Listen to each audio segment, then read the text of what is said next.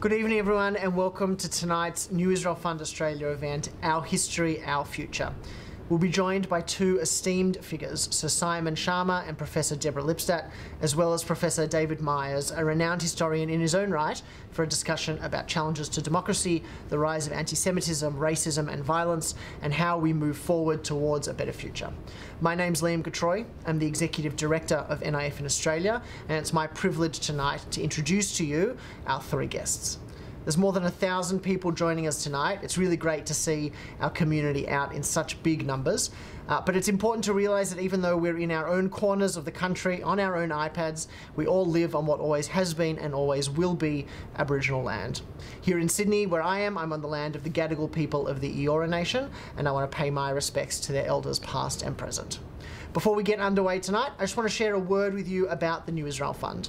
We are a partnership of Israelis and diaspora Jews dedicated to upholding the values of Israel's Declaration of Independence, values that promote a more inclusive, just, and equitable Israel for everyone who lives there. Since it was created more than 40 years ago, NIF has invested more than half a billion dollars in hundreds of projects and organisations right across the country. Our core work is creating real impact through grassroots organisations on the ground. We reduce social and economic gaps, including by targeting the needs of those most affected by the COVID 19 pandemic, like refugees and asylum seekers. Today, 30,000 of them regularly go without food, having lost their jobs more than a year ago because of the pandemic. We combat racism and, and, discrimination, including that felt by the LGBT community, Arab citizens of Israel, and Jewish immigrants from Ethiopia and the former Soviet Union. And of course, we also work with millions of Palestinians living in the West Bank and Gaza who suffer daily under Israeli occupation. Now, we wanted to host tonight's event because it's one of the reasons that we invest in these projects which create a shared and open Israeli society which is free of racism and discrimination. And that's because of our own history as Jews. We know what it's like to face hatred. We know what it's like to be marginalized and to watch as the structures that are supposed to protect us instead fall around us. And so by showcasing these three wonderful historians, all with deep relationships and histories with the New Israel Fund, we can bridge these two worlds between the way that we understand our reality of Jews in the diaspora, in diaspora democracies, as minorities fighting for equality and the protection from discrimination, and the reality of the Jewish state, where Jews are the majority and have the power to shape its own democratic institutions and to ensure equality for all. So now let me introduce to you tonight's special guests. So Simon Schama, the first, is one of the world's most popular and prolific historians. He's a professor of art history and history at Columbia University and a contributing editor of the Financial Times. He's an award-winning author and writer-presenter of more than 50 documentaries, including The Story of the Jews. Professor Deborah Lipstadt is a professor of modern Jewish history and Holocaust studies at Emory University in Atlanta, Georgia. In addition to her many books and writings on anti Semitism and the Shoah, she is also known for her libel trial against Holocaust denier David Irving, which was depicted in the 2016 film Denial. And our conversation tonight will be facilitated by NIF's global president, David Myers, a professor of Jewish history at UCLA and director of the UCLA Luskin Center for History and Policy. And he's written also very widely in the fields of Jewish intellectual and cultural history. And with that, thank you again, everyone, for joining us. I want to pass it on to welcome properly us to the event, David Myers. Thank you, Liam, and welcome to our audience in Australia. I remember my time in 2015 in Melbourne as the guest of Monash University and our exceptional host, Mark Baker, with the greatest of fondness. And we in the wider NIF orbit look on with great admiration at NIF Australia, which is so ably led by Liam and Ilana Snyder.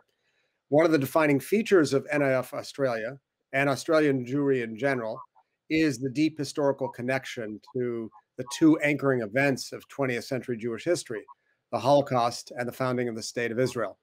And given that rootedness, rootedness in history, it's fitting, I think, to be in conversation with two of the most renowned historians in the world today, Sir Simon Schama and Professor Deborah Lipstadt. So let's jump right in by situating ourselves in time. One of the most often invoked literary references uh, is to Dickens' Tale of Two Cities, the best of times, the worst of times. It is. It so often seems as if both are always true. So let's think of today uh, set against that literary reference. How would you situate the world today? Um, is the world, as you see it, in precipitous free fall, or um, in fact on the path of steady, if not irreversible progress? And and where are the Jews in that picture? So a big question, a macro question about how we situate ourselves in the world today. Um, Sir Simon Schama, would you like to start us off?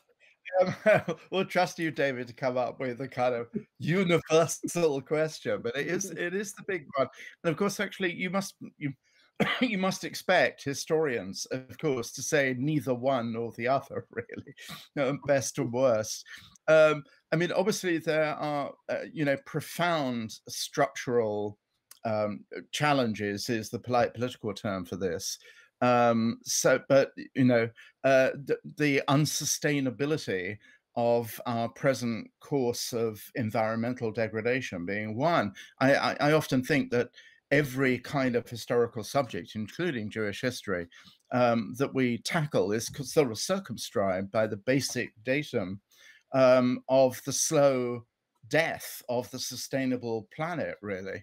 Um, and uh, so this is this is very bad news. The pandemic, in fact, because of the recent history of most infectious diseases that are alarming occurring zoonotically, that's to say, a spillover jump from the animal population to the human population. That's almost, I think it's risky to say this is scientific consensus, means that those two things are linked.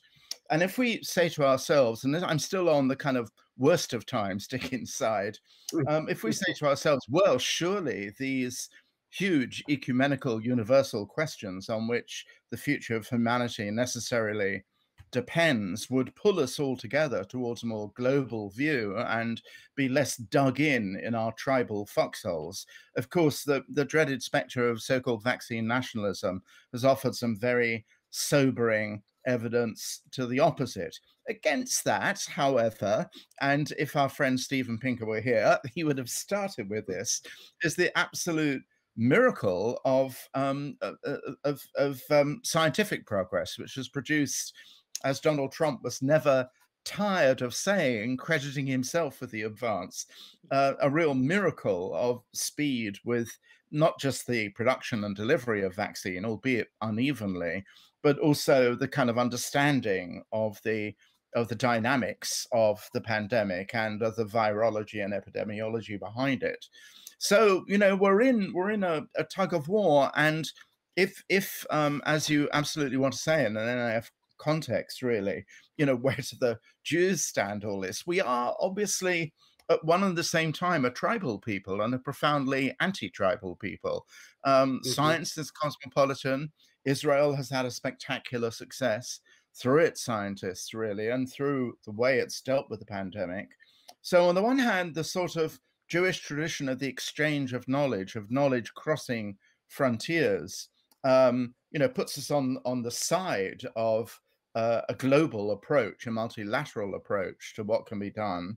On the other hand, of course, Israel and Jewish history, and I gather we're going to be talking about this in more detail a bit later, David, um, Israel is not exempt from the rage of national tribal feeling.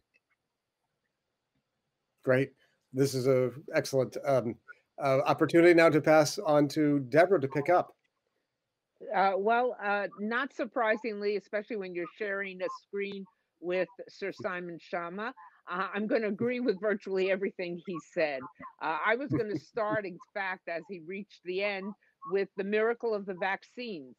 Uh, little did I dream, even a year ago, maybe a year ago, that I would be praising something that's a result of big pharma, as we call it in this country, and I think in other countries, which has given us so many things, including the opioid uh, epidemic uh, and what they're doing. And little did I think I would have anything good to say about the Trump uh, regime, as I like to call it, um, but the way they expedite, they didn't do the scientific research once it was done, but they expedited it. of course, as uh, Sir Simon said, excuse me, um, it comes with uneven distribution, et cetera. But I'm reminded of the fact that I don't know, was it a year ago, maybe a little more than that, maybe a little less, maybe I think even less, that Dr. Anthony Fauci, who is a rock star amongst many of us here in the United States, sitting in the Oval Office said, well, vaccines usually take three to four years to produce, and now we Mhm. have it. Uh, so, and that is beginning to make life uh, more normal. Um, in terms going back to your your your question of best of times, worst of times, um, the Jewish answer, of course, is both. Uh, you know, we we we do very we we do may avdut lecherut from slavery to freedom, uh, miagon lesimcha from suffering to to joy. We have uh, Achashverosh, but then we have Mordechai. You know, it's always a continuum, a spectrum, and we're always prepared for the worst. You know, you know the definition of a Jewish telegram. Uh, start worrying, details follow. um, but but what I worry about is, uh, uh, uh, Sir Simon talked about it as tribalism. I would say the sectarianism. Um, and sectarianism, I don't, I'm not speaking in a religious context, but the sort of zero sum game. If I'm right, you must be wrong. And you must be wrong in a fashion that gives me the right uh, to go after you with every means possible. We saw that on January 6th and the insurrection on Capitol Hill here, uh, and we've seen it in many other ways. We see it mostly coming from uh, the right uh, currently, but I think the left is not immune to traces of that. Uh, but it means that uh, talk certainly in, to use an American setting, talking across the aisle politically um, maybe they do the same thing in Canberra, um, uh, is seen as uh, being disloyal to your own side. Uh, and, you know, Micah's Come Let Us, what is it? I think it's the book of Micah, Come Let Us Reason Together, is seen as betrayal. That is not good. And to end with going back to the Jews, uh, that's never good for the Jews. Uh, so never what, can, ever good can for we, the Jews. Can we help situate that in time? Deborah, I mean, when did that begin in your memory? And sort of there, you know, certainly in US political history, there have been times of fractious division, including and especially in the Civil War. Um, but we know that there were even violent uh, exchanges on the House of, uh, on the, in the halls of the House and Senate uh, in the 19th century. but we seem to have uh, reached a point where uh, the two sides can only engage in this zero sum thinking. Um, and one of the teams in particular seems not to be playing by the rules of the game, which in the game of democracy is is a lethal condition. So how would you situate that, and and how would you apply that uh, that that uh, scenario to the Jewish case? Are we in a similar state of fractiousness? And if so, to what do you attribute that? When did it begin? Um, and right. what's our way out? Um, in the United States, I would say it began in earnest uh, with the election of Barack Obama. I think there were a lot of people in the United States who could not fathom a black man uh, as president, a black family living in the White House. We began to see radicalization. Uh, the Department of Homeland Security spoke about that early on in the Obama administration and the Republicans pushed back and said, This is awful. How can you say that? And it's just political. And they pulled back. Of course, they were absolutely correct. I think uh, uh, Janet Napolitano was then um, uh, Secretary of Homeland Security, and she was the one who was pushing it, and they had to pull back. Um, I think it started with that. It started to a certain extent with the Tea Party, which was the bailout after the 2008 uh, economic crisis. Um, but it was people playing on that, using it. Uh, Don, uh, my point is that Donald Trump didn't invent the sectarianism we see in the United States. And I know I'm speaking to an Australian audience, and actually, I remember I was there. I think it was summer 2019. I was it was at the Antidote Festival at the Opera House, and then the uh, Melbourne Writers Festival. And I always love my visits to Australia, which have been been a, a number, and I'm hoping soon to come back. I know now New Zealand can come to you and you can go to New Zealand. So let's hope that'll extend to us soon. Um, but these things spread. You know, when I talked about ex- uh, sectarianism earlier, David, um, I, I, gave, I used it in an American context, but we saw how it spread. We saw the politicization of masks, of wearing of masks. That began in great measure in our country because of the then president, uh, something which should have been a no-brainer just wear a mask. What's what what political point are you making by not wearing one? Uh, but it spread quickly to other countries. It spread to Germany, it spread to France, it spread to UK to a certain extent. So with social media, which I love, we wouldn't be having this conversation, but for social media, when it works, it's terrific. Um, but allows these things to spread. Uh, so I would say I would uh, currently taking a smaller view, not a longer view.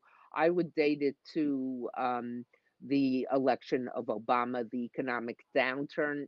That's often always there's that underlying case, and uh, the rise of uh, the right, the white supremacist, white power, white nationalist right. Right. Which was, of course, latent, but then pushed to the surface and elevated by uh, by that economic upheaval. So, uh, Sir Simon, I wonder if you can give us um, a more global framing for that fractiousness and sectarianism that Deborah spoke of. Um, the uh, Hungarian prime minister has referred to um, his worldview as illiberal democracy, um, which is essentially a form of majoritarianism that says if I have 50 votes plus one, I can change the rules of the game. And that is an idea that seemed to have really taken hold from uh, from Israel to uh, to the United States. Um, how do you periodize, contextualize, date this? Uh, I have a new. Mm, no, I'm sorry, David. Um, and and and uh, thank you so much for being so kind. But I think we can drop, um, you know, the sir bit. Really, it's very kind of you to do this. You know, why is this? We don't know what the protocol is, so thank you for yeah, managed guide.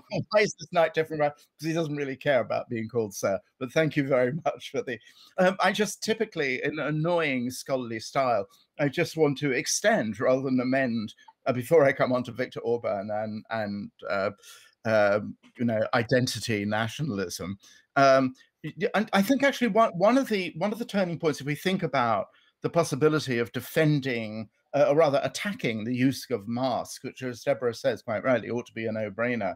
You know, some of that actually goes all the way back to Ronald Reagan's revival of libertarianism or, or encouragement of libertarianism. That famous sentence, "The most frightening," I'm, I'm going to paraphrase. I'm not going to get quite right. The most frightening words in the English language are, "I'm I'm from the government and I'm here to help," and um, I think actually that sowed the seeds um, of uh, enormous kind of almost paranoid suspicion of government guidance in and um, you know it's, it's, become absolutely lethal in the case of actually the government sponsorship of reliable scientific and public health knowledge but in all sorts of other respects too. This is why the good news again to our friends in australia or at least the provisionally good news is that without making a great kind of you know trumpet voluntary a great trumpet flourish out of it um, Joe Biden seems to be reviving without any sense of defensiveness and how um, the necessary role of government um, in in respect to these enormous uh, pieces of legislation on on infrastructure and on uh, dealing with the pandemic and so on. Um, I would also say actually that um, we're going through a list of presidents now, and I do agree completely with um, Deborah. I, do want to stress that that um, the sort of sense on the American right. Um, and I think out there in in the sort of um, uglier regions of American prejudice, that Barack Obama, that the Barack Obama as a president was a kind of unnatural thing in American history, contributed horribly to um, violently racist, extreme racist opinions and anti-Semitic opinions being brought more into uh, the possible normal area of discourse. But I, I would also want to um, just invoke the period after 9 11 when there was such a sense of insecurity and such a sense of shock um, that the temptation really to provide a kind of political ideology which at the same time was militarily aggressive but also reached somehow deep into the issue of what is truly american or what is not truly american also stirred that particular pot now without without um, you know, uh, more of, um, uh, without going on too long, uh, your question, David, is very germane about about the um, the robustness, really, of what should we call it, nationalist chauvinism or something like that. Um, a part of Viktor Orban's particular uh, stance, we know, whether disingenuously or, or adopted, as in the case of the Law and Justice Party in, in Poland, whether, whether disingenuously or sincerely adopted, is the so called defense of, um, of Europe, of Christian Europe in particular, against kind of insidious outsiders in the form of migrants. And the great kind of crisis which Europe fa- faced and you know, Angela Merkel's extremely generous, expansive view of the number of immigrants she would be prepared to settle in Germany just absolutely, you know, brought that into boiling point. And notwithstanding the kind of hard empirical data that there's not been an enormous flood of of monstrously atrocious crime attributed to immigrant populations, non-Christian immigrant populations. Nonetheless, this this did have an extraordinary effect on on making nationalism, sort of tribal atavistic nationalism, not something of the past as generation after generation, particularly after the Second World War, had hoped, but something that had um, much longer legs than I suspect many academics like me suspected. I, have always felt, I think you both know this, but um, I'm sort of brooding on this subject at the moment as a kind of writing project. I would suspect that um, gen- baby boom generation of which I belong. I was born before the Second World War ended, actually, just about. We were sort of badly prepared, or we prepared ourselves very badly to see nationalism as anything except a kind of contemptible anachronism, which had wrought horrific damage on the world and on the Jews in particular. And therefore, we were kind of, you know, we we we took really the psychological staying power of nationalism too lightly and the centrality of the Cold War between two opposing ideologies of liberal capitalism and Marxist totalitarianism also made us think really that nationalism was a sort of um, a kind of quaint subject, almost a subject fit for anthropology and ethnography, but not for serious contemplation of what the future was. A, a book which you'll both know justly celebrated by Benedict Anderson called Imagine Communities, I think in a weird way contributed to this, I, I would say, sort of modernist complacency about nationalism. In the, the very title, Imagine Communities, gave the sense in which this was a kind of fatuously trivial invention of the romantic movement or whatever whatever else and it had no actual social power or psychological force compared to things like class or the international capitalist market or or such like. And I think we really swallowed that particular line, as it turns out, at our peril. Well, I would say that in addition to underestimating the staying power of nationalism, it's also the case that the forces of globalization that were unleashed in the early 21st century exacerbated uh, a sense of, uh, of, of displacement. Um, that reinforced the most, most ethnocentric elements of nationalism. So um, the dynamic between those two forces seems to me a really critical uh, point in understanding where we are today. And that I think brings us squarely to a conversation about Jews, because uh, ethnocentric nationalism, on one hand, um, has not, in many ways, been good for Jews, even as some Jews have embraced it. Uh, meanwhile, globalization um, is both an economic and and social force, but also a kind of perception uh, that is cloaked in this accusation of Jewish power. So um, I want to turn now to Deborah and ask her where are we at in that sort of balance between globalization and ethnocentric nationalism, and particularly with respect to the Jews. Where do they stand in this very dynamic, uh, uh, very uh, tremulous um, period? Um, and particularly, where does anti-Semitism stand? Something you've thought a little bit uh, about in, over your career. A little bit, and what do we have? Three hours, and I'll I'll, I'll make a start. Um, you know, about a year ago, a little more than a year ago, I started wearing a Jewish star. Why did I start? I never wore one before in my life. I've gotten them as presents. They ended up in the back of the drawer when I moved. You know, sort of they were rusted and ready to be given away or thrown away or whatever. Uh, because I began to think about what was going on in the United States, certainly in terms of white privilege, uh, George Floyd, and, and and other things like, and too many other things precisely like that, Breonna Taylor, et cetera. The names are innumerable. Um, and I didn't want to have white privilege as as much as I I knew I have it, but I wanted to say this is who I am. I wanted to broadcast my identity, and um, it's just been an interesting experience wearing it.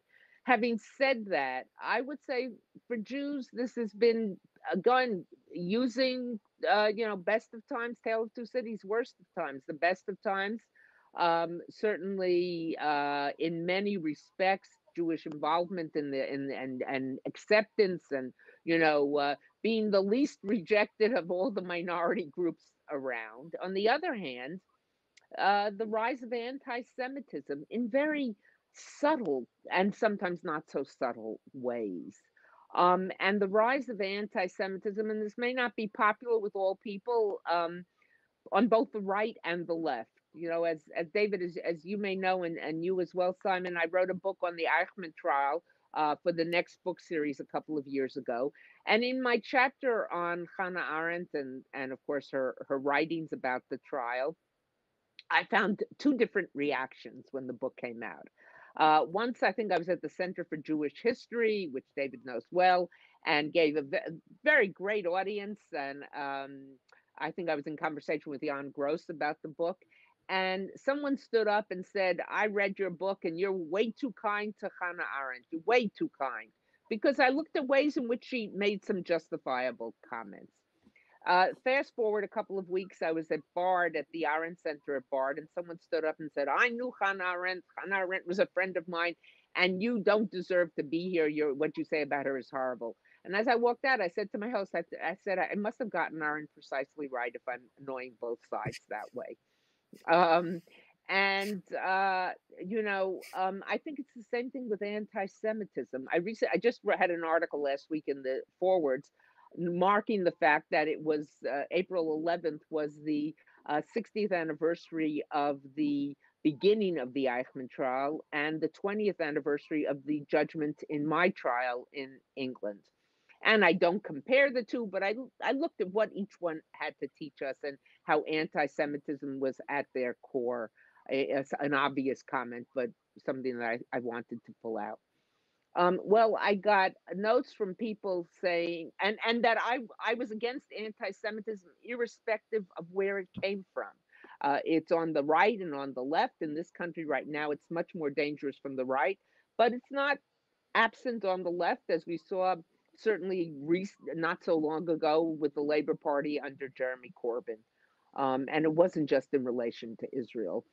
Um, and I, of course, got notes from people saying you're so wrong about the, the right, and people saying you're so wrong of the left. And um, of course, the my friends, whoops, excuse me, my friends who were on the right uh, said, you know, you don't you you have to talk more about the left. They they see it very clearly on the left, and they are right when they do, they're correct when they do so. And my friends on the opposite side, in other words, people on each side see it perfectly on the other side of the political transom, but fail to see it right next to them. And I find All that right. very disturbing. You know, it's the so weaponization of anti-Semitism. Let's drill down a little bit more on on this point. Um, there has been um, a chronicled uptick, a very significant uptick in the number of reported anti Semitic incidents in the United States over the last five years, which roughly mm-hmm. coincides mm-hmm. with what you called the Trump regime. Um, certainly the most uh, murderous um, uh, and dangerous forms of expression, uh, without any doubt, come from the white nationalist right um, and its fellow travelers. Um, and that you would certainly agree with. Um, can you talk about you know the sort of uh, collateral um, anti-Semitism like that grades into sort of mainstream right-wing media on one hand, and then elaborate on what where you see really um, anti-Semitism on the left. It's something you you feel it's important to talk about. So tell us what that looks like specifically, if right. you could. Okay, look, the anti-Semitism on the right, Pittsburgh, Poway, Charlottesville, the Unite the Right rally, which was just replete with anti-Semitism. Uh, that had all those things. What what was the the murderer in Pittsburgh yelling as the SWAT team was bringing him down, eh, yelling at the dead Jews, the Jews he had just murdered who had come for shul. Um, uh, you will not destroy the white race, or the uh, murderer in Poway in San Diego, or in Halle, Germany. Um, they all see, and and in in in Charlottesville, in the rally Unite the Right, what were they chanting? On that Friday night as they marched across the campus of the University of Virginia with their tiki torches. Uh, Jews will not replace us. So I, I, know I'm still focusing on the right, but uh, their view is that um, uh, goes to white genocide replacement theory, white Christian replacement theory. It goes under many names, uh, has its roots to a certain degree in a book from the 70s, The Turner Diaries by Pierce um, in which uh, and, and and it has mutated in different forms, but essentially argues that black people, brown people, people of color, uh, you know, there is a plan to bring them in to Europe, bring them into this country, swarms, hordes, all these negative terms used um, in order to destroy uh, white Christian Anglo-Saxon culture. Look, I'm talking to you from Georgia, the state of Georgia, not far from where I live. There's a, a district, a congressional district represented by a Marjorie Taylor Greene. She's the one who believes that Jews have uh, Rothschild had space lasers, and that's what caused the, caused the wildfires in California. Um, but her office is eh, put out a statement of creating a America First uh, caucus on Capitol Hill, all about Anglo-Saxon um, purity Anglo I forget the, I don't think it was purity. They weren't asked that bad. Of course, she later walked it back and said, oh, it was just a draft. But it meant, even if it's just a draft, someone is thinking in those directions. Right. Um, so that is that is terribly, terribly disturbing. What they arguing is, of course, that these people of color, these black people, brown people, whatever, they're not capable of having these gains on their own. Barack Obama couldn't have made it into the White House on his own. There's someone behind them, the puppeteer, and that puppeteer is the Jew. On the and it, and of course it manifests in a very violent fashion. On the left, it is not as violent. I'm not saying the two are equal, but I'm saying that they're, they're there as well. Um, and we see it sometimes we see it in opposition or, or crit- in the way criticism of Israel is voiced or using criticism of Israel as a shield for an anti Semitic attitude. And I want to make it quite clear, I think, uh, maybe bringing coals to Newcastle, even though it's an Australian audience, um, that uh, of course, I'm not talking about criticism of Israeli policy. You want to hear criticism of Israeli policy? Go to the Knesset. Go to the Knesset. I'm knocking everything over here, getting a little, I guess, hits about what I'm talking about. um, passion, passion. Thank you, thank you, Simon. Um, uh, of course, I'm not talking about criticism, but when you talk about uh, uh, Nazi-like tactics, when you talk about Israel manipulating the world, when you when you do certain things, and we know what they are, when it crosses the line from legitimate criticism to uh, using anti-Semitic tropes or engaging in anti-Semitism, we see it there as well. I'm not equating the two, but I'm saying they're both worrisome and i'm against it irrespective of where it comes from. Right. So uh, let's turn to simon and um, i think we all would share um, that sense of discomfort with anti-semitism whatever quarter it issues from. Um, i'm particularly discomfited by not just um, what i think is by far the most lethal and dangerous forms of anti-semitism that coming from the right but also a, a discomfiting um, tolerance for um, uh, a kind of um, white nationalist, um, uh, pro Christian rhetoric that issues from some right wing Jewish quarters, um, including, I should say, in Israel itself. And I wonder, Simon, if you can help us understand where that comes from. Um, well, again, again, if you, I, I, I, don't mean to be a pest, David, and your, your question is very good. and I promise to come on to it in a minute.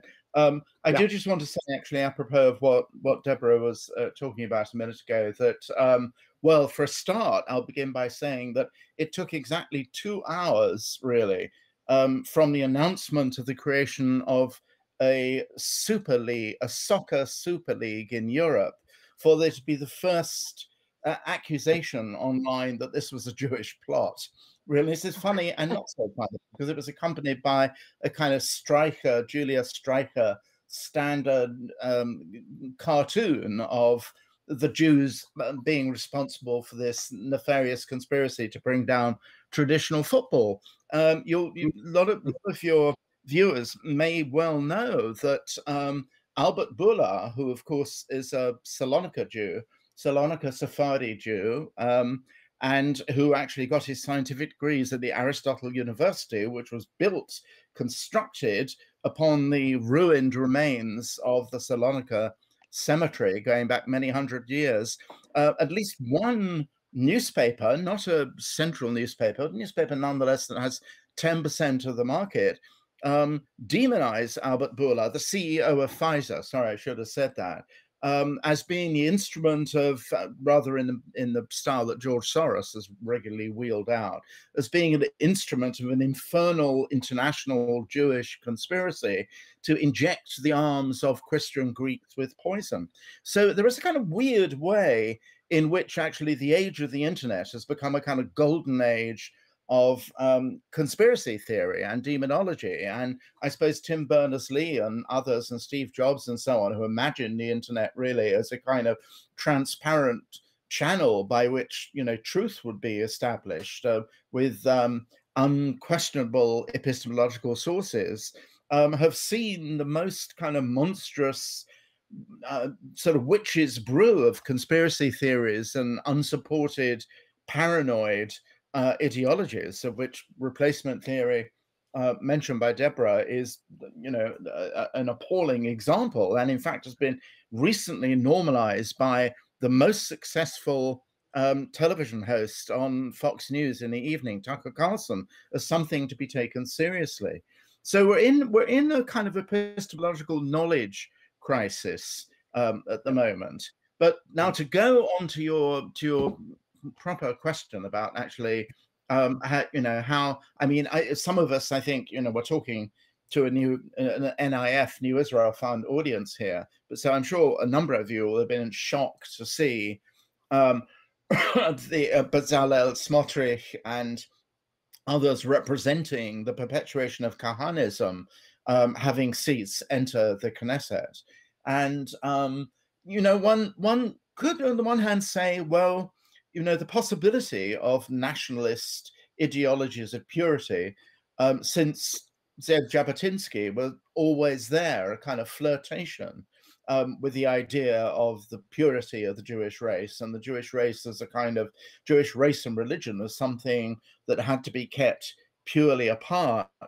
But, you know, Jabotinsky, read the Iron Wall, for example, there's no doubt that he flirted with a kind of you know, tribal, almost quasi-fascism at certain points. Jabotinsky was also a very, very hard-boiled empiricist in some piece of his brain and mind, um, as indeed were his successors like Menachem Begin and even Ariel Sharon, if they weren't exactly multilateral pluralists and expansive in their view of the nature of Israel, uh, they nonetheless were, in some sense, uh, Democrats. They they saw that if you really wanted to keep Israel as a Jewish democratic state and be faithful, therefore, the, to the declaration, the original declaration of Israeli independence in, in 1948, then there was no alternative but to have a two state solution.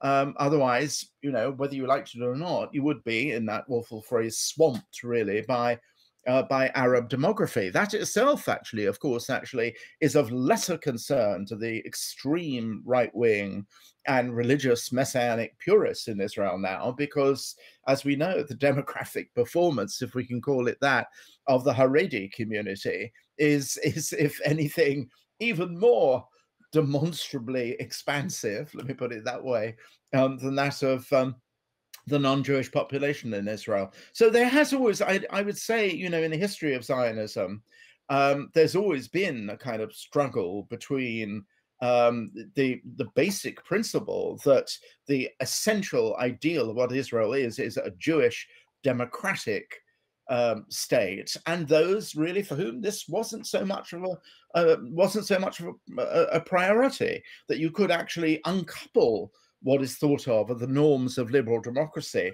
as long as the Jewish bit of the Jewish state was always paramount.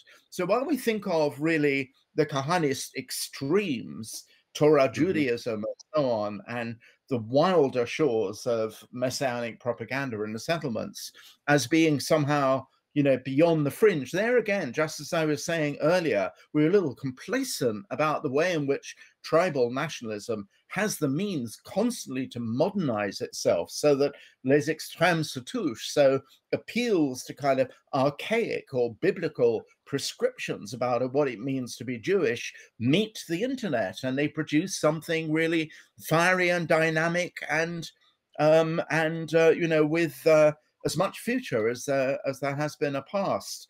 I would add, though, on a slightly cheerier note, the slightly the the other side of Charles Dickens opening, um, that there are unexpected things that happen, of course, namely uh, the ability of the Arab parties in the last election to determine the fate of a Netanyahu or any kind of government. And, you know, sometimes things just sort of fall out in the in in which actually make a kind of hermetic seal between a pure and an impure Israel, uh, not only impossible, but also ridiculous.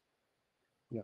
Yeah. So it seems to me that will be a very good day when uh, an Israeli government is uh, formed with the participation of an Arab party. It will be a good day for Israeli democracy when that happens. Um, but uh, Deborah, uh, we have about five minutes left, and um, I want to now turn our attention to Israel. Um, and what Simon offered was at once soothing and uncomfortable. Um, on one hand, we have seen scourges of uh, hyper nationalism, ethnocentric nationalism um, before and weathered it, and in fact, embedded in them, as in revisionist Zionism, were also some very powerful democratizing impulses. And yet, at the same time, uh, the capacity of new media to transform and render more dangerous those impulses is a source of concern. So, in turning our attention to Israel, what are your um, concerns and and sources of optimism. And I would say now to bring it home to our NIF audience in Australia, what do you see as NIF's role? How can we be um, of uh, help? Yeah, let me before I turn to Israel, I just want to point out one thing, which I think was a, a, a terrific moment in American political history or contemporary events. Uh, Secretary of State Tony Blinken, whose uh, stepfather was a survivor of the Holocaust, um, on Yom HaShoah, gave the speech of the Yom, the official uh, Yom HaShoah or Holocaust uh, Memorial Day uh, speech, uh, and um, he talked about the failure of America during World War II in regards to rescue of the Jews, the complicity and that was an amazing moment to have a sec because it was a sec, it was the State Department that was most responsible for it. So that's something to hold on to, I think, in a, in a very invigorating way.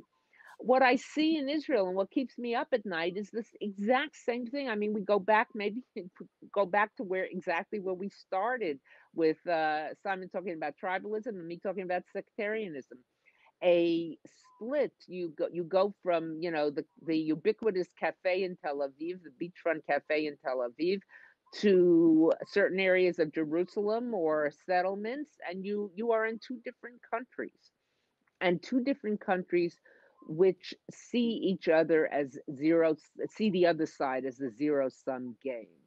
Um, and we saw it, of course, with the uh, pandemic, with uh, COVID and attitudes towards different groups, etc., um, and behavior of certain groups. But I see a split there. And I see a split that's only being reinforced, certainly by uh, uh, Netanyahu um, in in his leadership, and and he, of course, was in good company with President Trump all uh, for the past four years. So it's that division, that inability to say, you know, as I, I quoted um, Micah earlier, come let us reason together. Um, the idea that if I sit down with the people with whom I disagree, there's something wrong with me. Um, mm-hmm. There's a new book I was just reading about it this morning that, in fact, uses uh, BJ, the uh, iconic synagogue in B'nai Jeshurun in New York, um, in terms of talking about differences. Um, it's just come out, I think, this week. It's coming out this week, and how uh, talking across the divide. Um, it's it's the hardest thing to do to listen to people with whom you totally disagree. Not only totally disagree, but think are absolutely wrong, if not dangerous. I was speaking to a woman, a very well educated woman, not long ago, uh, multilingual, talented, etc. And she was telling me how COVID is all a hoax and more people have died from broken hearts or whatever it is. And, you know, it, it took all I, my restraint to tell her she's a blooming idiot, but nobody ever changed their mind because you told them they're, they're idiots. Uh, it's going to be very hard to get across this divide. It's going to be very hard to find conversation partners on the other side, whatever side that may be. But we really have to try to listen to each other. And I'm not saying that it's an, uh, it, it's hard. It's hard. It, it makes uh, sometimes listening to what people on the other side of where I stand politically, whether it's in Israel or whether it's in the United States or any other place in the world, is trying in the extreme. But I think if the New Israel Fund can help somehow, and this may go beyond the mandate, but David, I put it in your hands, um, to find those ways of cross communication. Um, that will be a real service. It came onto the scene many years ago. I remember when it was created to deal with neglected issues in Israel, Israel's that uh, issues that were not being well supported and and here is a neglected issue not just in Israel but in the Jewish community worldwide and if you can somehow find the ways to to, to bring us together at least to talk to one another um, I think that would be of critical importance Right. And maybe a final brief word from Simon on this very question. Yes, you guys talked about the Kulturkampf, the cultural war between Jews what's your sense of what we can well, and should be is, doing? It's very profound. We we have a two-state problem inside Israel, not just you know the New Israel Fund is an absolutely wonderful institution. Um, but uh, along with organizations like Yachad, we've been thinking quite rightly, um, primarily about the occupation, about the relationship between Israeli Jewish culture and the Palestinians, um, about race problems inside Israel with Beta Israel and and so on. And I, I absolutely this again puts it so unreasonably in your lap, David, but I can't think of anyone or any institution better than NF to deal with this. There is another divide, which in, indeed, as I'm just echoing Deborah now, um, a gulf across which the New Israel Fund might want to try. And for example, you know, uh, uh, uh, talk seriously and substantively with um, representatives of the Haredi community, and they're not all a monolithic block. We know this very, very well. Um, and talk to settlers, even um, the, the, uh, as well, in order to engage in some sort of uh, constructive dialogue. Because after all, you know, um, Tel Aviv, Israel is not going to shut down Geula and Mea Shearim, and um, Torah Judaism is going, isn't going to close down Tel Aviv. We all have to somehow live with each other, and it's much best done without, as Deborah says, assuming essentially um, that the side with which you do not agree are necessarily enemies. Well, well said. And I must say that one of the most important initiatives for me um, over the last few years at NIF has been our uh, forging an alliance with a group called the Haredim Chadashim, the new Haredim, um, who have been superb partners in trying to envisage a different kind of Israel where you can indeed um, reach across the chasm. Um, and that is really a source of hope in what otherwise can seem a despairing situation.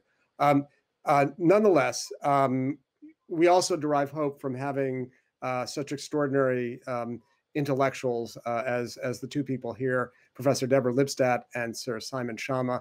Thank you so much for making time out of your busy schedules to be with us, um, and thank you to our wonderful audience uh, in Australia. We love you. We love NAF Australia, um, and together um, we shall overcome. Thank you. Amen. Amen. Thank you.